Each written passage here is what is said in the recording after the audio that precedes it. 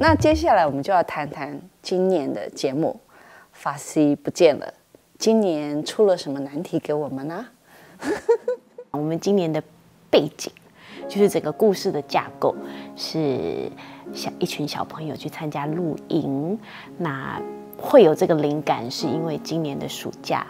啊，我跟怡景老师的小孩子都是第一次参加没有父母亲陪伴的露营，发生在他们身上的故事，我想应该来看的小朋友会很有共鸣。再加上云门外面这样绿油油的，其实也很适合把它纳入这个故事的主轴。因为我们的故事还有就是音乐，全部都是新的，所以呢，其实需要非常的烧脑。我们三个人常常哇绞尽了脑子，那我们就是希望小班也可以稍微了解一下，然后可是呢，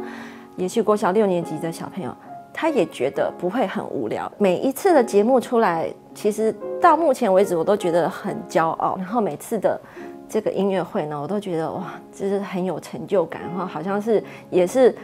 生出了一个小孩的感觉，对，就是非常的感动。我们目的是要培养一个很好的听众，我们希望他们会喜欢音乐。你不用不用不一定说要能够把乐器拉得非常好，可是我们希望你们会有一个可以培养出他们有一个很开放的心。愿意听听音乐，愿意感受一下音乐可以带给你的生活有多么不一样、丰富的变化。我想这个是我们在做这个亲子音乐会的目的。我最记得的是，呃，每一场音乐会都有一个时间说，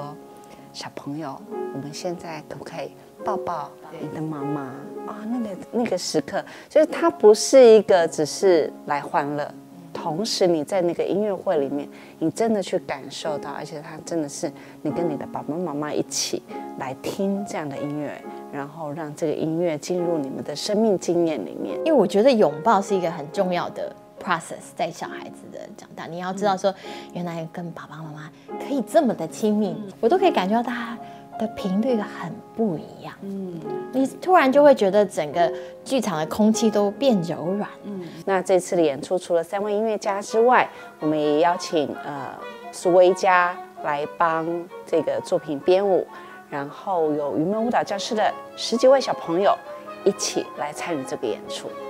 那今天谢谢三位音乐家，谢谢。